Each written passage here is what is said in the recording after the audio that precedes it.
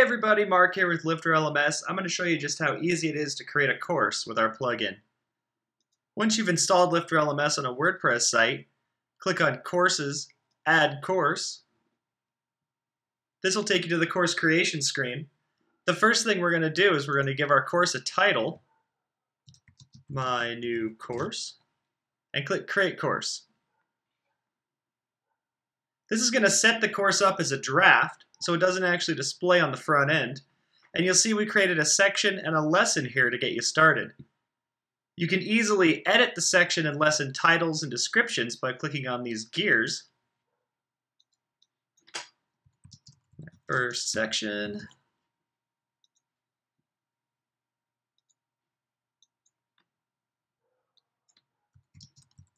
First lesson.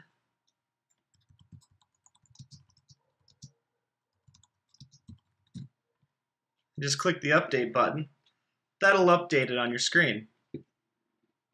If you want to add lessons or sections to your course, just click the Add button. And you can go ahead and start creating as many sections as you like. Section 2. Section 3. Add some lessons to my new sections. You can either add a new lesson or you can add an existing lesson. I'll create a new lesson. New lesson for section 2.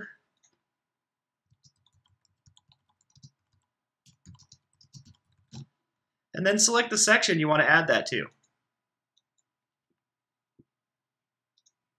If you want to add an existing lesson that's already assigned to another course, just click Add Existing Lesson. That'll bring up your list. You'll be able to view all of your lessons and search for them.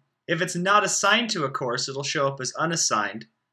So I can grab some of these lessons and just quickly add them to the sections I want. I'll grab one for section 3. I'll grab another one for section 3. You can also move the lessons around between sections. So I want to get that one over here. Put that here. Let me add another lesson, new one to section 2.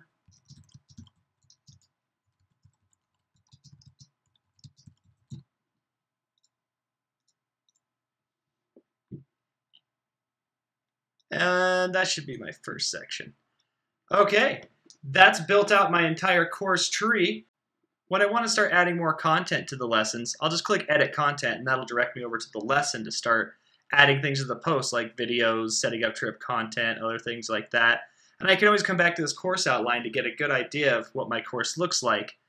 A great way to get a quick shot of what each lesson has, I can see like none of my lessons have any content, they don't have any drip delays, there's no assigned quiz, and there's no prerequisites. As I start adding these things to lessons, these things will highlight blue just to show me that I have those on the lessons.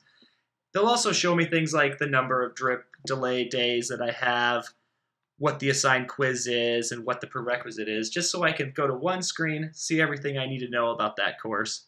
Once you've got your outline done, you can go into the options and start setting up all the different sections and options for courses. And it's that easy to set up a course with Lifter LMS.